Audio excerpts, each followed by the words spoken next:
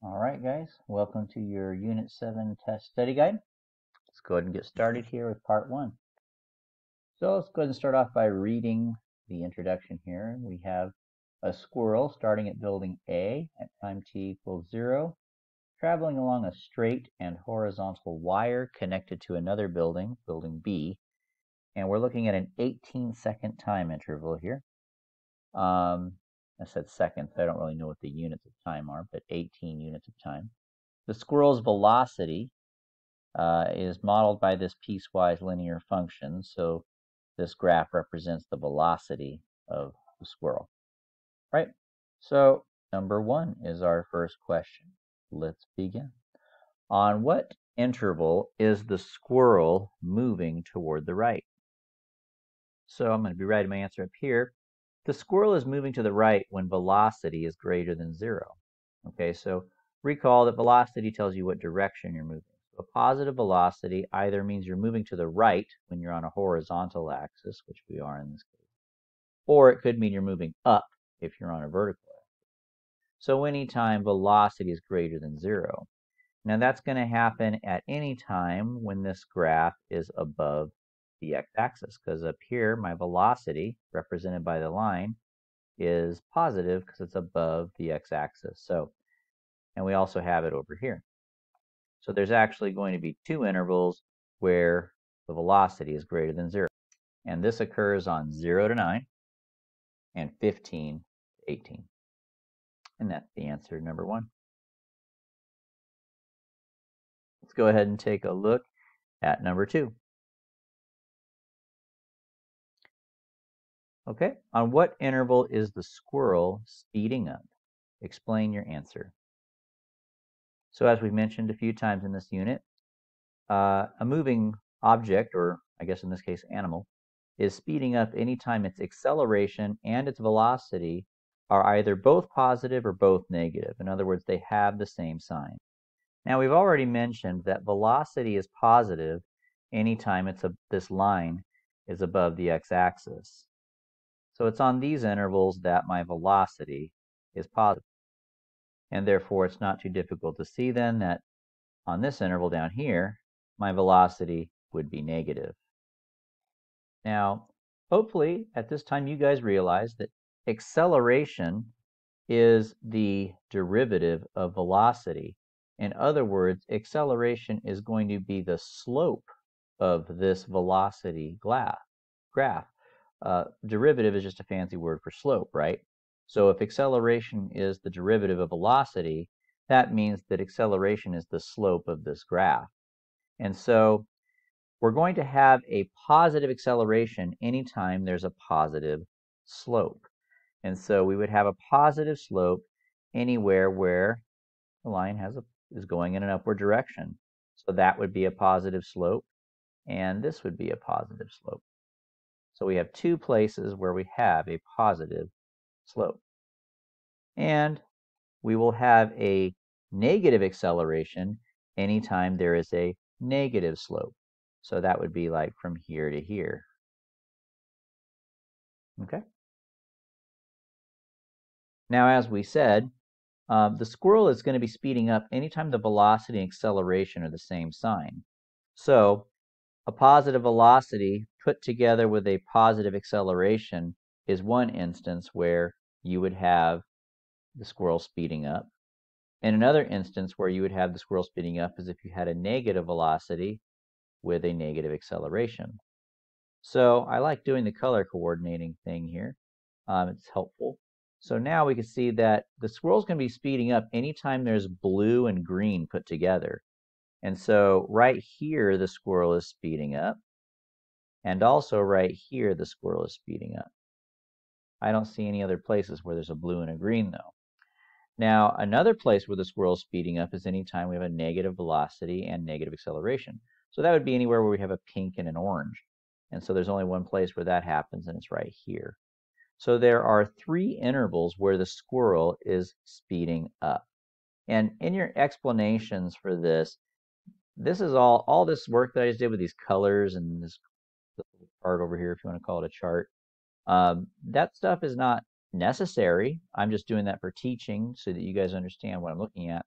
But your explanation should include what I wrote here, and then the intervals where that happens. So you could say now, this occurs, go back to doing a red color here. This occurs on the following three intervals. 0 to 2,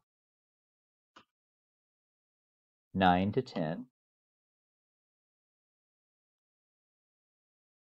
and 15 to 16. So what I've got written in red up here is really all that you need to have for your answer. All this other stuff I was doing was just to help you understand my thinking. All right, so that's the end of number two. Move on to number three. Okay, so for number three, it says find and interpret this expression here. So let's go ahead and find it first. Um, we're integrating velocity. Now this is a velocity graph. And when you do an integral of a graph, that's basically the area under the curve.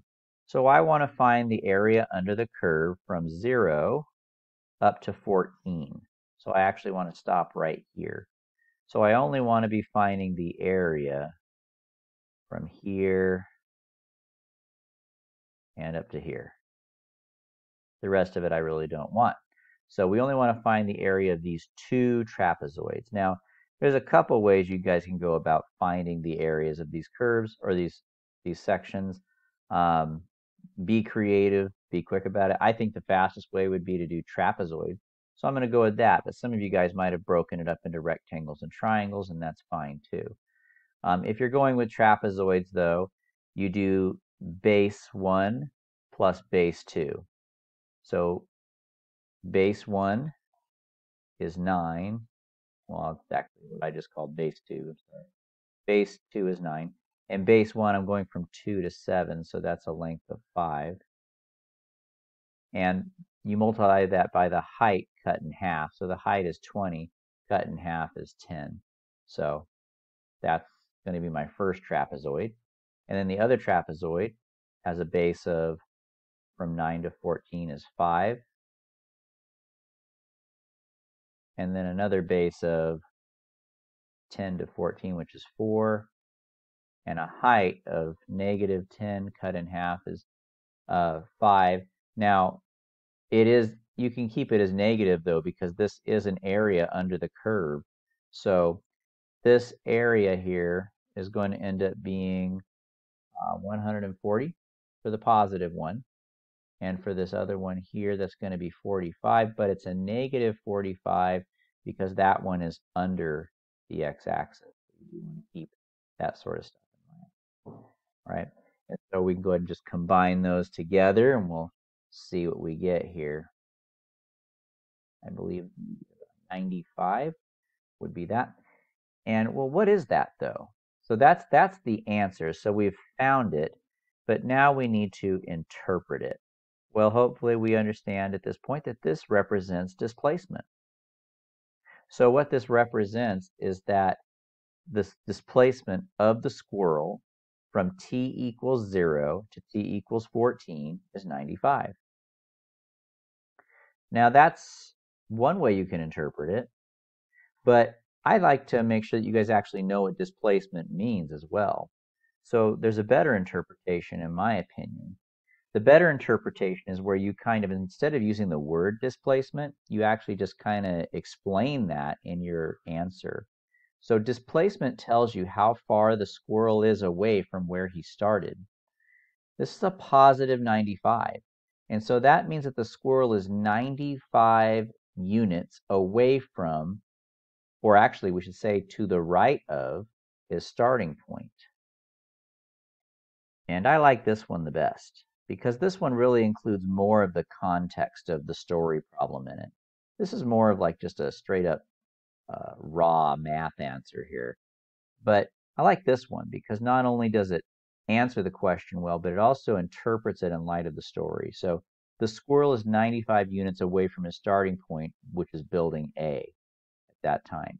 And so basically what happened is at this point in time, the squirrel's at building A, and since this is a positive displacement here, that's how far the squirrel ran away from building A until he got to 9. But after he got to t equals 9, Then he started running back toward building A because this is a negative displacement. So he ran 140 feet away from building A, and then he ran 45 feet back towards building A, which means that where he stopped was a total of 95 units to the right of building A. I like that interpretation. But I'll accept both Right, our next one looks very similar. Um, it's just a, a little bit different here. But we want to find and interpret what this means in the context of our story. Well, the when you take an integral of an absolute value, mathematically what happens is is we're still going to have those same trapezoids, right? It's going to be 140 and negative 45, which we found in the last problem. This trapezoid was 140 units. This one was negative 45. But the difference is when you're taking the absolute value, we don't care about the direction that the squirrel went. We just care about the distance that the squirrel went. And so that means we have 140 plus 45 now, which means that, yes, the squirrel ran a total of, just a moment, let me back up here, 45. The Squirrel ran 140 feet away from building A, but then ran 45 feet back towards building A. But that's a total distance of 185 units. Okay, so our interpretation of this would be that the squirrel ran a total distance of 185 units. And we should include our time unit there. Which, by the way, I think I might have forgot to do that on the interpretation that I liked better on the last problem. I think I might have forgot to put the time in there. Um, and that should be there. That's part of our interpretation. So when you have absolute value, you make everything positive and add together. And what it represents is the distance that the squirrel ran. So we could even put that in there. Ran a total distance of, just to be, I would accept this as an answer but might as well put the word in there, distance, because that's kind of the key word we're looking for. All right, let's go ahead and move on to number five.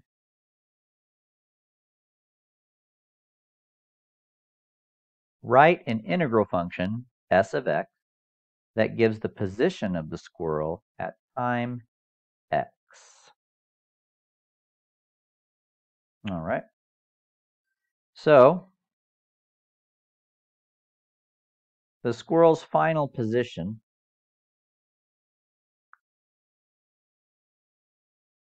is given by taking the squirrel's starting position, which he starts at time 0, plus the integral from that starting time to some variable ending time. And we're integrating the velocity function, which gives us our displacement. So starting position plus displacement equals final position. Now we could be a little bit more specific here though, because we actually know what S of zero is. Um, it tells us that the squirrel starts at building A. And so this all these lengths here represent how far away from building A the squirrel is. So at the beginning, since he's right at the building's location, his starting position is zero. And whenever your starting position is zero, you actually don't even have to include that in the answer. Um, but I'm going to include it just so you guys know that you do want to have a starting position there usually. Okay, but there's our answer to number five.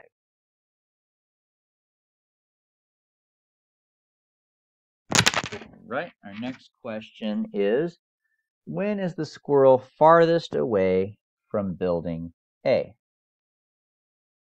When is the squirrel farthest away from building A?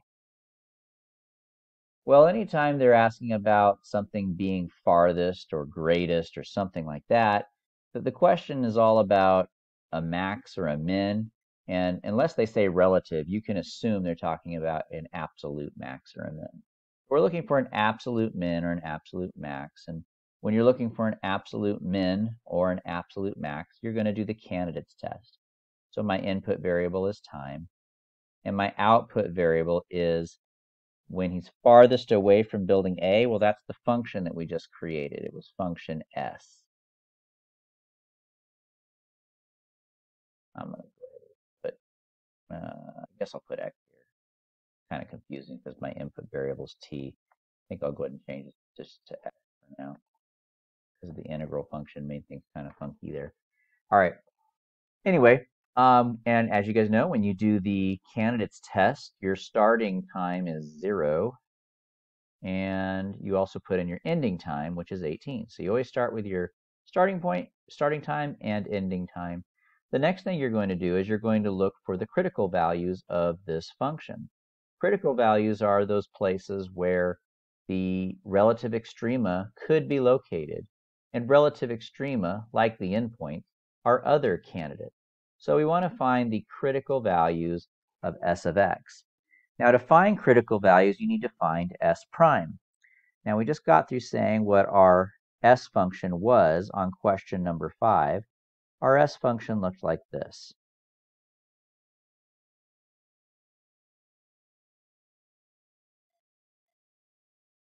So if we wanted to find the derivative of that, The 0 is just going to go away because it's a constant. And when you take the derivative of an integral function, and that integral function just has a number down here and a variable up here, the integral goes away, and the variable drops inside, and all you're left with is that function now with that variable inside. So my derivative is basically, my derivative of the position of the squirrel is just velocity, but we kind of already knew that anyway, didn't we? We learned that back in chapter 4 that the derivative of position is velocity. So that ties in nicely with what we've been learning. Uh, but anyway, critical values are those places where the derivative equals zero. So I'm going to plug zero in for s prime because that derivative equals zero. And so when the derivative equals zero, that means that the velocity equals zero. And when does velocity equal zero?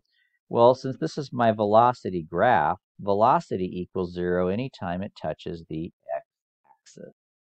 So these two values of time right here are the places, uh, are the values of x that will make velocity equal to zero.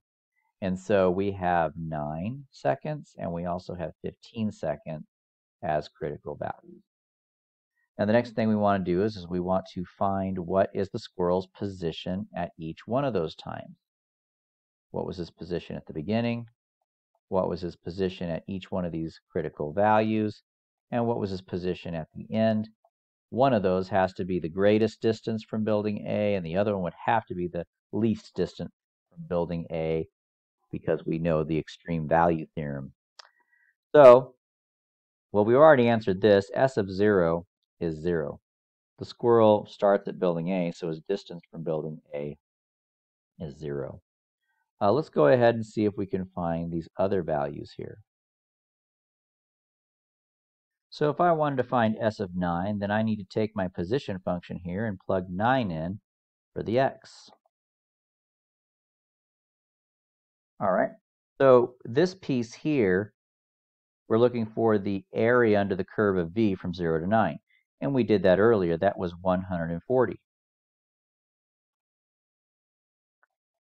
Plus 0 equals s of 9. And therefore s of 9 equals 140. And we have that answer.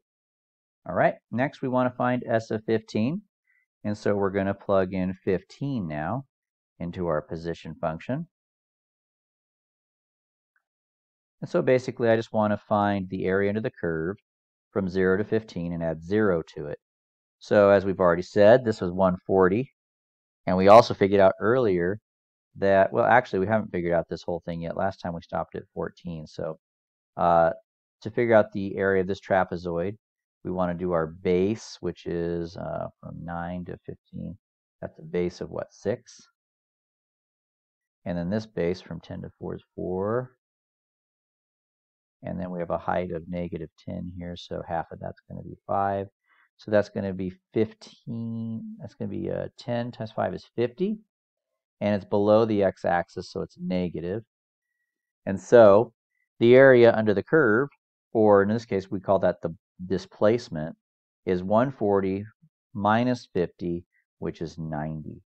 And so the squirrel's position at s equals 15 is 90. And then we have one more problem to do. We got to find s of 18 doing the same thing. So we're going to go ahead and plug in 18. We know this is 140. We know this is negative 50. And we want to go all the way up to 18 now. So I need this last trapezoid. It has a base up top here of 2, a base down here of 3. 3 plus 2 is 5 times half the height, which is going to be 5. And so this trapezoid has an area of 25. If I just add these up, we already know that these two make 90. So if you add 25 to it, you get 115. And there it is. So now the question is, when is the squirrel farthest away from building A? Well, S of x represents his distance from building A. And it's at this point where the squirrel's distance is greatest from building A. The question is asking us about when, so that's a time question. So the answer to our, our question here is not 140. The answer to our question is t equals 9. Now, if they asked what was the squirrel's greatest distance from building A, um, then you could say 140. But in this case, they're asking when was the squirrel farthest away from building A, and that answer is 9. All right, so part two. A water tank at Camp Newton holds 1,200 gallons of water at t equals 0.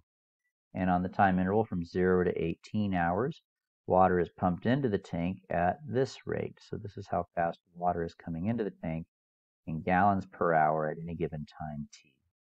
During the same time interval, water is being removed from the tank at this rate. And once again, that's gallons per hour. So our first task here is going to be to write a function t of x that gives the total amount of water in the tank at any given time. So when you have a rate in and rate out question, uh, it's a lot like what we did on part one with a slight little difference. Your final amount, which we're going to call t, the problem tells us to do that, is equal to the starting amount, which once again, we're starting at time equals zero, but be careful, it doesn't always start at time equals zero, plus the integral of your starting time, which is zero, up to your final time, which we're going to call whatever this variable is here, x. And this is where it's different from part one. Part one just had one function here. It was just the velocity. But on part two, we're doing a rate in and rate out. So we actually have two velocities working against each other. We have the rate in function, which comes first, minus the rate out function, which comes second. But it still tells us, ultimately in the end, the same thing. The final amount of water in the tank is equal to the starting amount plus the net change in the amount of water in the tank at any given time. And so that's the answer to number seven. Okay, let's move on to number eight. How much water was in the tank at t equals 18? So to answer that question, we're going to take our answer from part one, which was the function, and we're going to plug 18 in for the time value that they're asking about.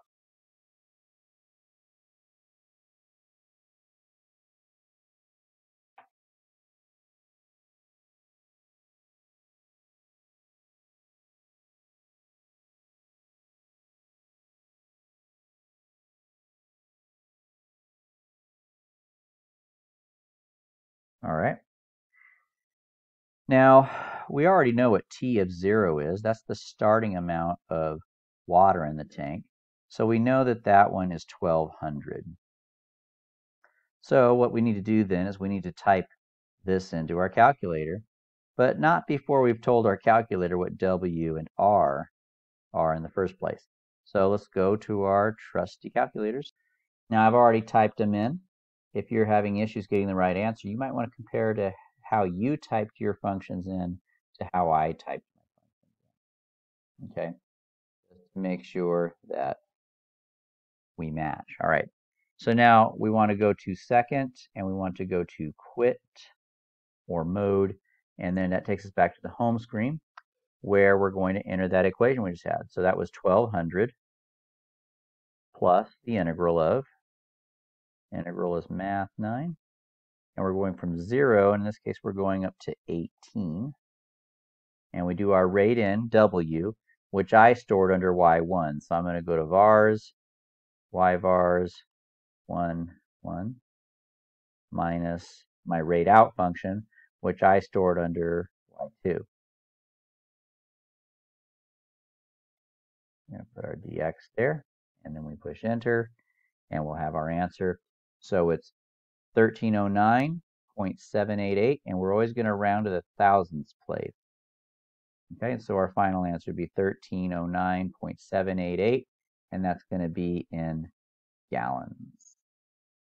Now, how do I know the units are gallons? Well, you can tell by the question, but also from the math. I mean, this 1200, that's a gallon, right?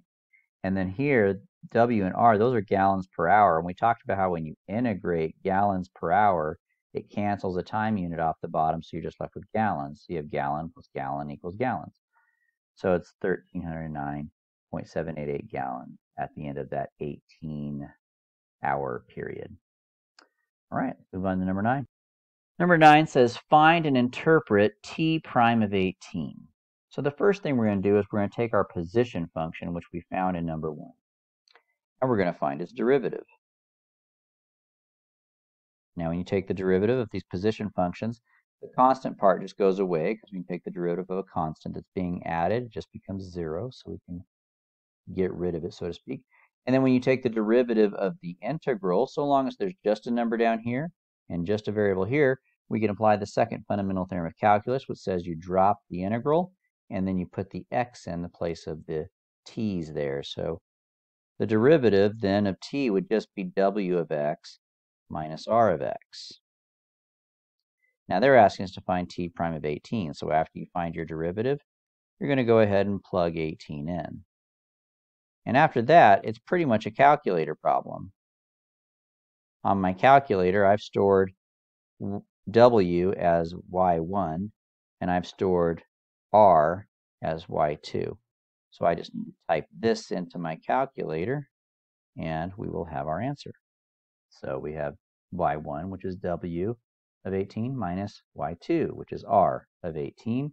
And we're going to push enter, and we get negative 13.443. And so now we're going to interpret things here, right?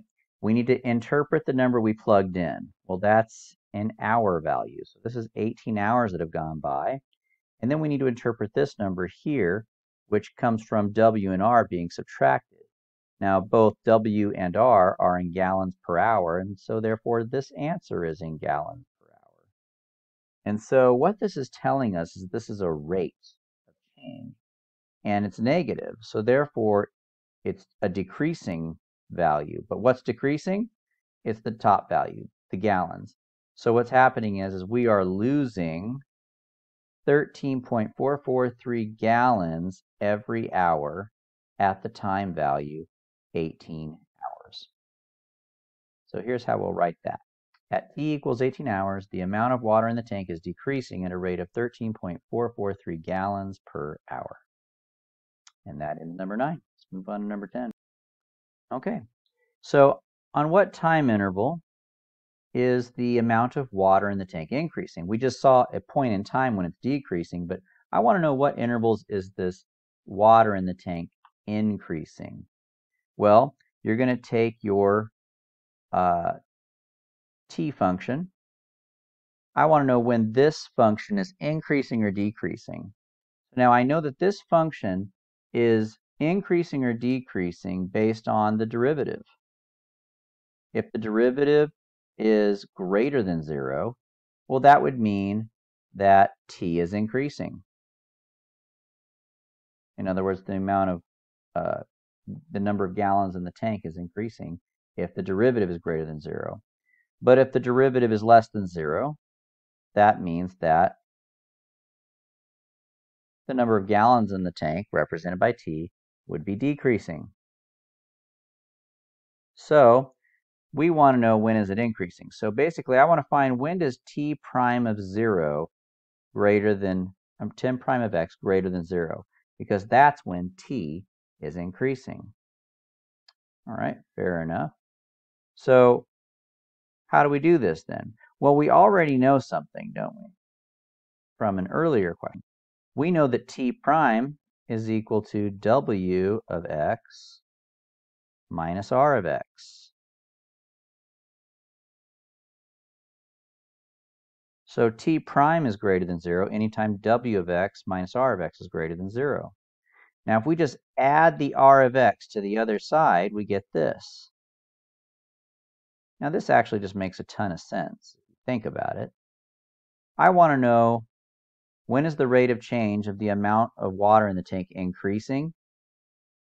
Well, that would be anytime the rate in is greater than the rate out. Now, how can you tell that by looking at a graph?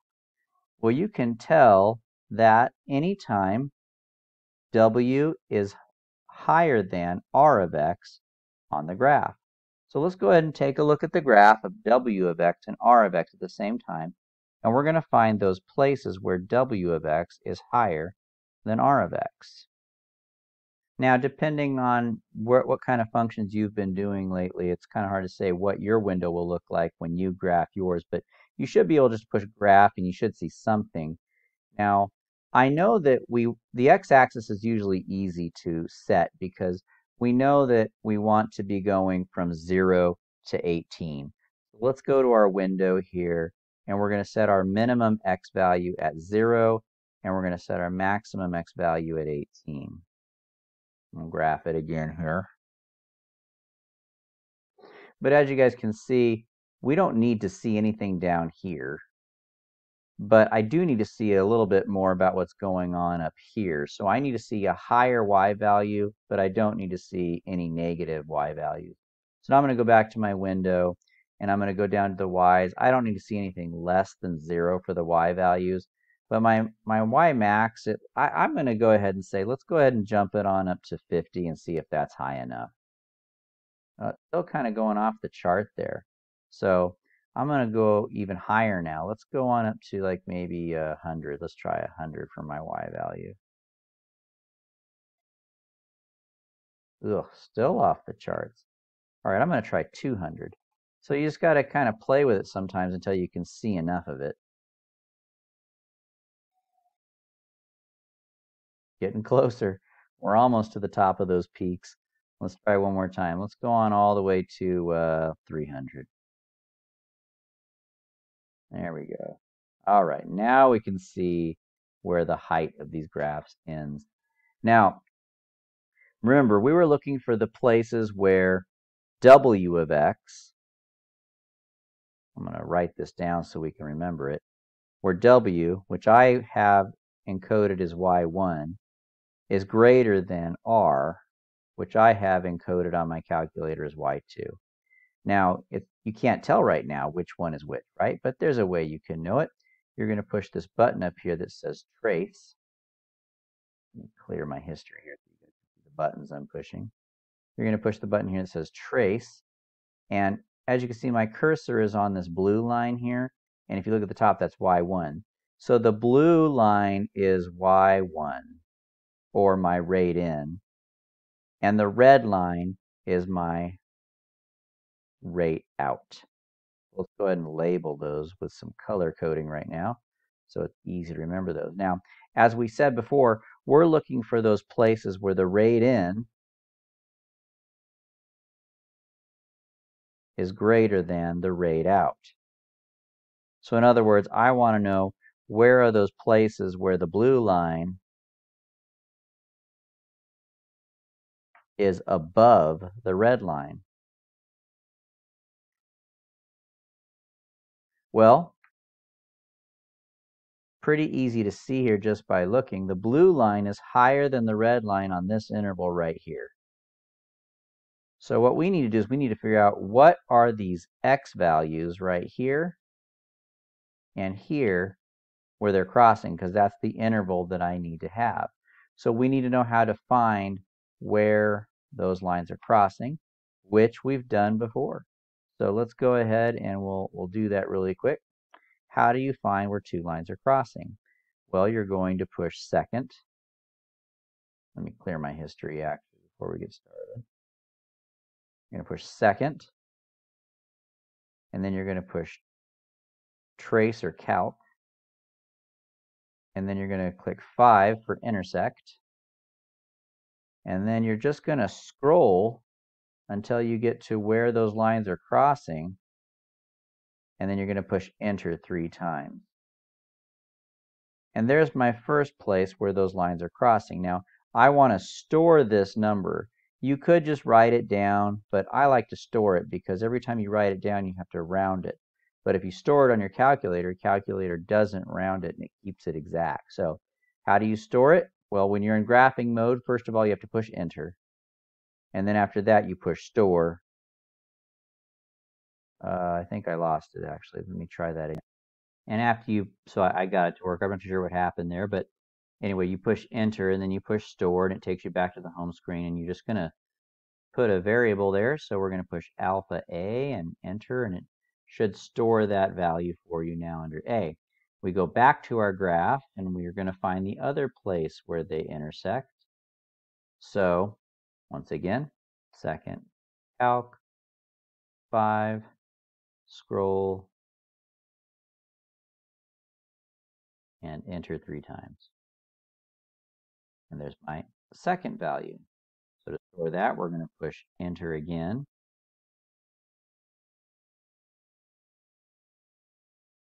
Then we push store, and we're going to put that as B. All right. So I don't know why I stored them. I guess I really didn't need to do that. I just need to know where they're crossing. So these are my intervals, though. So the answer to our question then will be at on the interval from 6.495, we're going to round that number up now, to 12.975. So that's the interval where the w function is higher than the r function. And when the w function is higher than the r function, that's whenever the rate in is greater than the rate out, which means that the overall rate of change is increasing and positive, and that's the answer to our question. All right, so let's go ahead and move on number 11. All right. So, what is the maximum amount of water in the tank on the interval 0 18? Okay, so once again, they're asking for a maximum amount of water.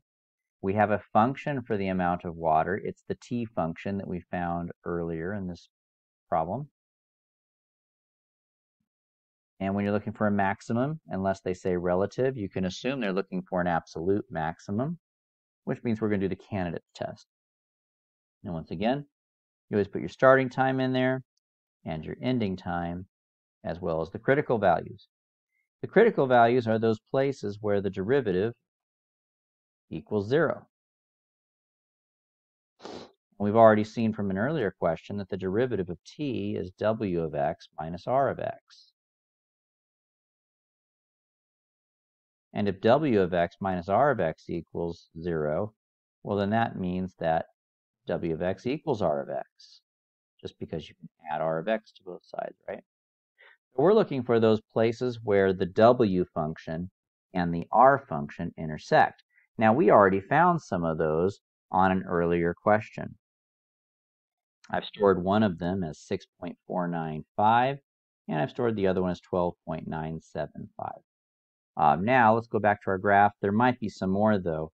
Um, it's possible they're intersecting over here at 0, but I don't think we really need to worry about it and 18 stops here and they don't get to touch again. So actually we've already found it. But if you don't want to go back and watch again how you find where they cross, I'll show you how you find where these two lines cross. You're going to push second. Let me clear my history actually so you guys can see you guys can follow the button I'm pushing a little bit more easily here.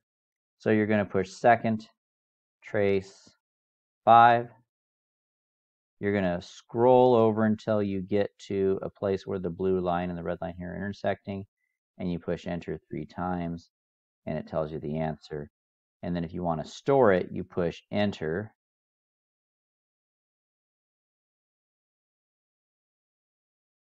And then you push store and then alpha.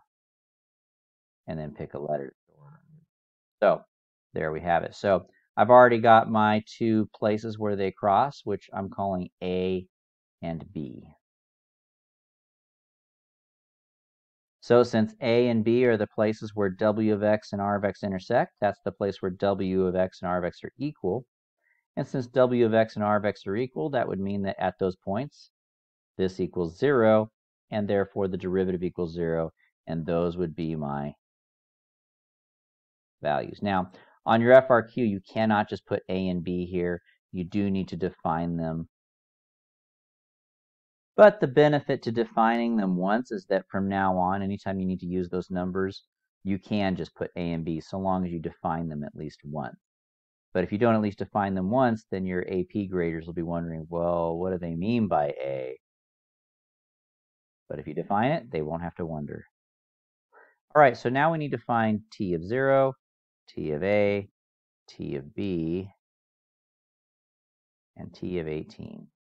Now, I'm pretty sure we already found t of 18 in an earlier question. I believe it was like 1309 point something. I think it was the answer to question number, uh, or the second question to part two. You can go back and take a look at that. Um, T of 0 is the starting amount. That's 1200. And you guys will find a lot of times on AP exams that they will ask these types of questions in such a way that the answers to some of these you've already done because they want to save you some time. Believe it or not, sometimes they're nice. Uh, but anyway, we still need to do t of a and t of b. So we're going to take our position function, which we found way back in question, the very first question on part two here. And we're going to plug into that position function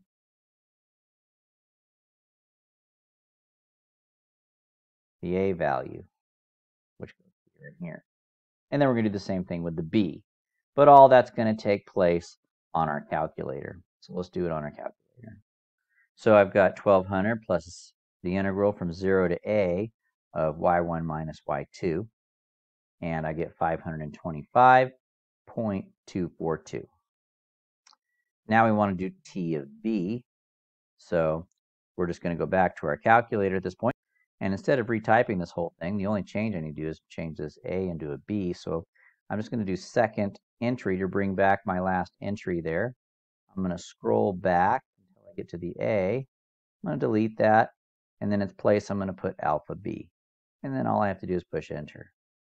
Another time saving strategy. So now we're up to 1697.441. And so now we've found our values uh, at all of our candidates, beginning, ending, and criticals. And these are the outputs. And all these are gallons. So when did we have the maximum amount of water? Or actually, it's not asking when. It's asking what is the maximum amount of water. And so we don't want the time value.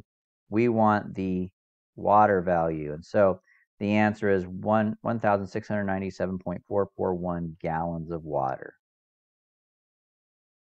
All right, number 12. How much water was drained from the tank on the interval from 0 to 18? So now this question is asking us about how much water was drained, which means that on this problem, I really don't care about water coming in. I really only care about water going out. Now this is a rate. This is how fast water is leaving the tank. But they're asking how much water drained from the tank. Well, I can turn gallons per hour into gallons by integrating. And so that's how we're going to answer this question. We, if you want to find out how much water on the interval from 0 to 18 was lost, you're going to take the rate at which it's leaving the tank, and you're going to integrate that with respect to t over the time period they're asking about. And that will tell you the total amount of water that was drained from the tank. So let's go ahead and go to our calculator and let it do the work for us. math, 9, 0 to 18, with the rate out function r, which I've stored under y2.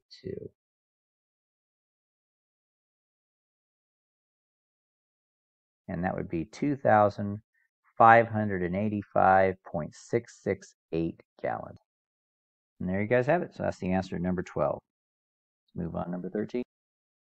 All right, so let's go ahead and take a look at this one. Uh, W of 10. Well, that's actually pretty simple. We're just going to plug 10 into this function up here. But they want us to interpret what it means. So let's go ahead and plug it in first. So W of 10, I've stored W as Y1 on my calculator. I'm just going to plug 10 into that. And I get 297.663. But we do want to interpret this. Now this number here is a time, so that's 10 hours. So at the 10th hour, what is this? Well, that's W, and W is measured in gallons per hour, and that's the rate at which water is being pumped into the tank. So at the 10th hour, 297.663 gallons per hour are coming into the tank. Okay, so how would I write that as my answer? At t equals 10 hours, water is coming into the tank at a rate of 297.663 gallons per hour. Moving on to number 14. All right, so this one says find and interpret W prime of n. Okay, well we can just do that on our calculator again. It's been a while since we've done derivatives on our calculator, but we can do that. Let me show you how to do that really quick. The way you do a derivative is you're going to push math and you're going to select 8 for derivative. We're going to put x here to indicate we're finding the derivative with respect to x. And I'm going to put my w function in here, which I've stored under y1. So I'm going to go to y vars, select y1. And I want to find the derivative at x equals 10. And that's how you find the derivative. And it's 5.342. So that part's not too bad, but now we got to interpret it, and that's where things get a little interesting. Uh, this is hours, of course. We've mentioned that already before in a previous problem. What is this, though? We know that W is gallons per hour. It's a rate. So what happens when you take the derivative of a rate? Well, that's kind of like taking the derivative of a derivative. And the derivative of a derivative is going to be gallons per hour squared. Every time you take a derivative, you get an extra time factor on the bottom. It's like the opposite of integrals. When you integrate, you lose a time factor on the bottom. But when you find a derivative, you get a time factor on the bottom. So this is going to be 5.432 gallons per hours squared. Okay, so how would we interpret this? So at t equals 10 hours, the rate at which water is filling the tank, now that, that's just English for W, because that's what W is. W is the rate at which water is filling the tank. At T equals 10 hours, W, the rate at which water is filling the tank, is itself increasing because the rate of change of W is positive and it's increasing at a rate of 5.432 gallons per hour per hour, or you could say per hour squared, or you could say per hour every hour. There's a few different ways you could say it. But basically what this means is that, you know, usually, you know, water's pouring into the tank at a certain number of gallons per hour, but that water is coming in at a faster and faster rate. And so this is telling us how fast the rate itself is increasing. So the rate itself is increasing by 5.432 gallons per hour every hour at that exact point in time of t equals. All right, next question. So this is a challenge question. I don't think I'm going to go over time. I'm not going to take time to go over this, but you guys can ponder it. Um, maybe it'll show up on the test as an extra credit question or something like that. I don't know. We'll see. Maybe, maybe not. No promises. But um, at what time was water draining from the tank at its fastest rate? Well, that sure sounds like a max min candidates test type question. Hmm, but what would we be finding the min or max of? Interesting. I don't know. I'll let you guys think about it.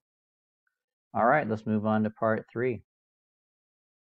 A particle moves along the x-axis so that its velocity from t equals 0 to 5 is given by this function here.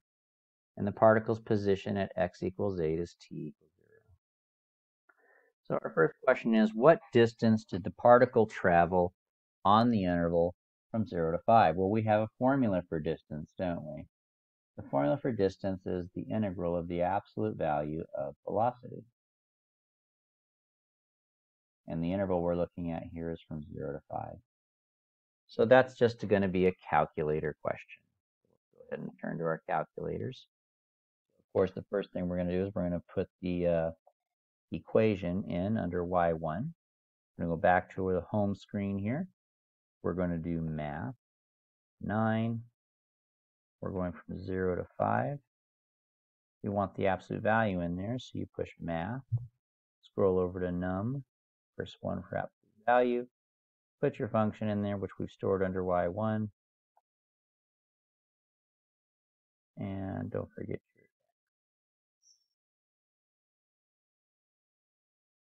and we should have our distance there, 5.112. And that will be our answer. Move on to the next question. All right, question number 17. Write a function that gives the position of this particle at time x. Well, the position function of a moving particle can be found by taking its starting position and starting at t equals 0 and adding that to its displacement from that starting time to the ending time of interest, which in this case is t, where we integrate the velocity on that time interval, thus giving us the displacement. So displacement plus starting position equals final position. And now we also happen to know that the starting position of this particle is 8 because the directions tell us that.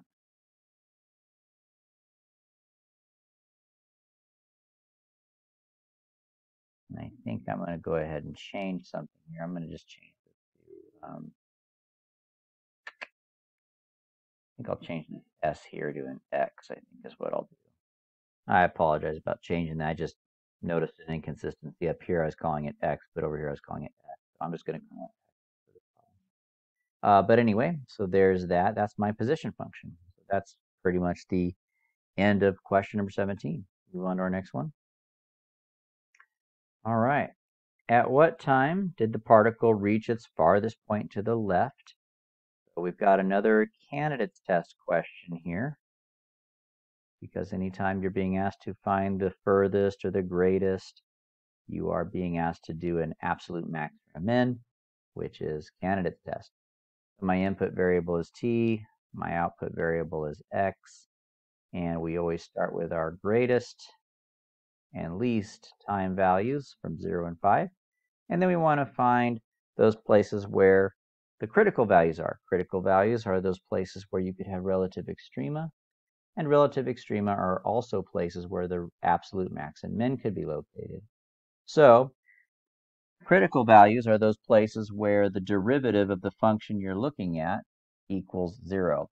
So the function I'm looking at, as we've already said in a previous question, is 8 plus the integral from that function. And I want to find the critical values of this function, which can be found by taking the derivative of it. When you take the derivative of that function, the 8's going to go away because it's a constant number that's being added. And when you take the derivative of this piece, since it has a number down here and just a variable here, we can apply the second fundamental theorem of calculus, which says we're allowed to just drop that off and slip that t in there, which it's already in there, and gives us this.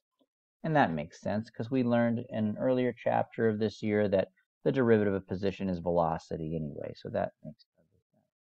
All right, now we want to find where does that uh, velocity, or sorry, where does that derivative equal zero? Well, that's where the velocity equals zero. Now, how are we going to do that?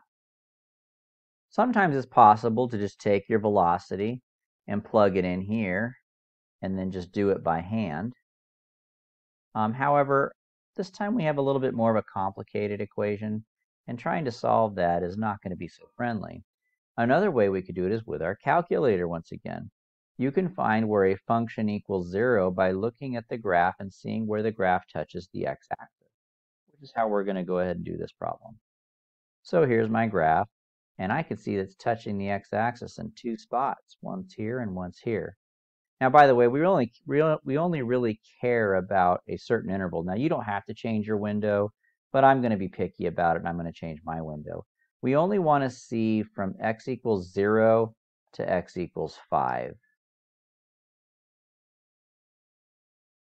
There. And also, this looks pretty flat.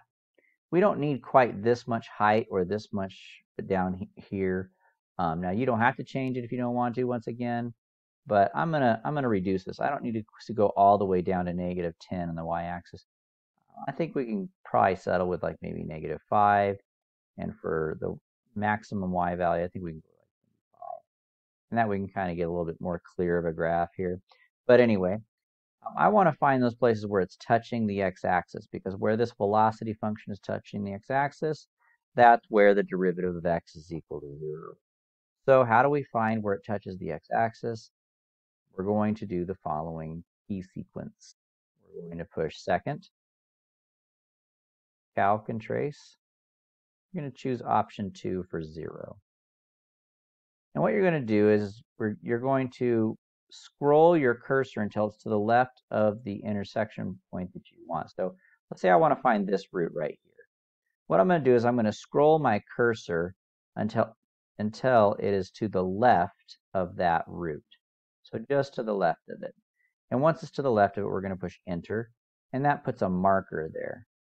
And now we're going to scroll to the right of it, and then we're going to put another enter in there for another marker. And now our calculator knows to look between these two arrows here for a root. And so we push enter one more time, and it tells us, oh, it's 1. Nice. Okay. Wonder if we could have told just by looking. I wonder if the next one's 2. Probably is. Let's see. You don't want to guess. It could be off. What if it's like 2.9? Probably isn't, but we'll let's check just. So we do second, calc 2, scroll to the left,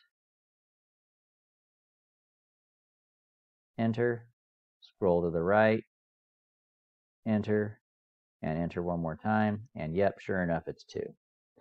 All right, so go ahead and go back and do some more now. Now, in this problem, we got a little bit lucky and we got some pretty nice numbers, 1 and 2, so those are easy to put here in our table. But don't forget, if you get a weird, funky, big, long decimal number, just store it on your calculator as A, and just put A equals and round your answer here, and then from there on out, just use A to, to, to reference that number. Because otherwise, it's just pain in the butt to keep writing it and it's also less accurate. Now we want to find x of 0. We want to find x of 1. We want to find 2. And we want to find x of 5. All right, now x of 0 is easy because we're just given that up here. x equals 8 at 0, so that answers 8. Let's do 1 as our next one. So if you want to find out where uh, what x of 1 is, what you're going to do is we're going to come back to our position function, which we had up here initially. Let me get rid of some stuff here that we don't need anymore.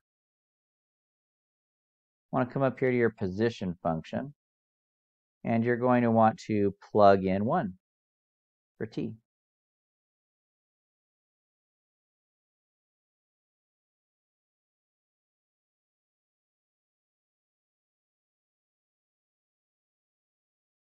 and we're just going to let our calculator do it. When we're all done doing that, we're going to let our calculator also do the same thing for 2 and 5. So let's go ahead and transition to our calculator now and let the calculator do less, uh, more of the work for us. So we want to get to our home screen, so let's push second and quit. And we're going to do our um, 8 plus the integral from 0 to 1 was the first one we're going to do. We're going to put our velocity function in there, which we've stored under y1. Yes. So that gives me 8.554. Now, we also wanted to enter 2 and 5. So instead of retyping it though, I just need to push second and enter, and it brings back the whole equation for me. And I just need to scroll back and replace the 1 with a 2. Enter, and then bring back the equation again. Scroll back, and replace that 2 with a 5. And now we have all the values that we wanted. We have 8.554, 8.368, and 12.739. And the question is, when is this object farthest to the left? Well, that must be at the very beginning, because all these other numbers are too big. All right. Question 19. Last one for part three. On what interval or intervals was the particle slowing down? Well, we know that a particle is slowing down when its velocity and its acceleration are opposite signs. When its velocity and its acceleration are opposite signs. All right, well, first of all, we need to understand that acceleration is equal to the derivative of velocity. Now there's two ways we could handle this problem. Okay, one way is by letting the calculator do the work for us. The other way is by doing it by hand. And I'm going to do it both ways. I'm going to start off by doing it by hand, and then after that, I'm going to um, show you guys how to do it on the calculator, and you could choose whichever method you prefer. Now, the derivative isn't too bad to do by hand, actually. You would have to do a chain rule to this thing. First of all, when you take the derivative of an ln, it's always going to be 1 over whatever's inside of the ln. It's been a while, huh? You guys like, oh my gosh, I forgot about that stuff. All right, and then you multiply it by the derivative of the inside, which is 2t minus 3. Now, if you put these things together, um, which we probably should, so it looks a little bit cleaner, um, it would be just putting the 2t3 on top.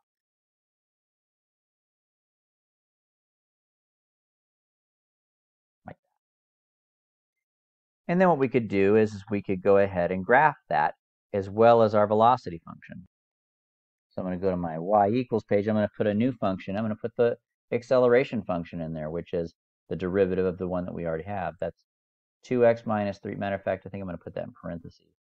When you do a fraction, if there's more than one term, usually it's a good idea to put the numerator and denominator in parentheses.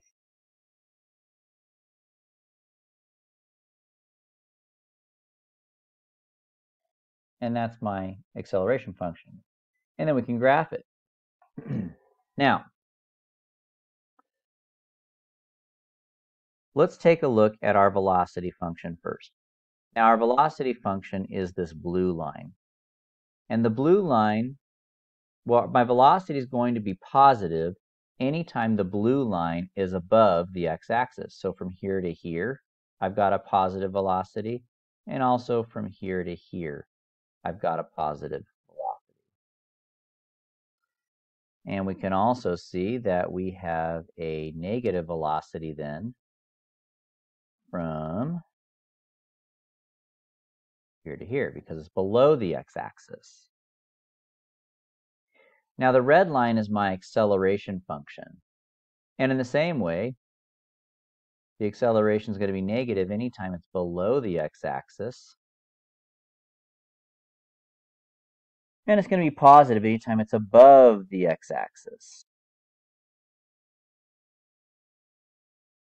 Now something that might help us out here is we're, we're also going to want to know where is that acceleration function touching the x-axis, which we have learned before how to do. So what you're going to do, if you forgot, is you're going to push second calc. 5 is intersect. And you're going to scroll your cursor until you get to that place where, actually, actually, I take that back. I'm saying that all wrong. Let's back up for a second. That's not how you do this. Um, what you're going to do is you're going to push second, calc, and you're going to select 0, option 2. And you also notice I'm on the wrong line right now. I'm on this blue line. So if you ever want to switch from one function to the other, just push up or down, and it takes you to the other function. Now we're going to scroll to where it's touching the x-axis, and we want to pick a number to the left of that intersection point. And then we're going to pick a number to the right of that intersection point. And then enter again, it will tell us there. So it's 1.5 is where that one's Okay. now I'm going to go ahead and just make a number line test. So I'm going to do a, a line for velocity and then I'm going to do a line for acceleration. Now my velocity touches the x-axis at 1 and 2, which we found earlier. So I'm going to put the numbers 1 on here and 2. And my acceleration function is touching the x-axis at 1.5.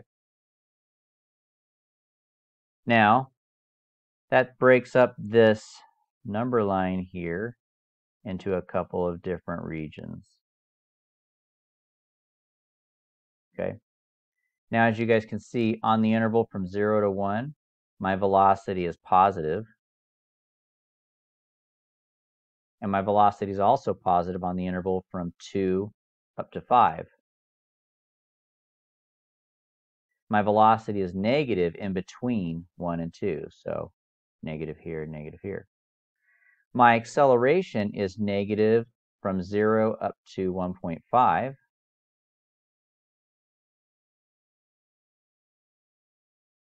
And then it's positive from 1.5 on up to 5. And the question that we were being asked was, when is the accelerate, I'm sorry, when is the particle slowing down? Well, it's slowing down anytime they have opposite signs. So here they have opposite signs. My velocity is positive, but my acceleration is negative.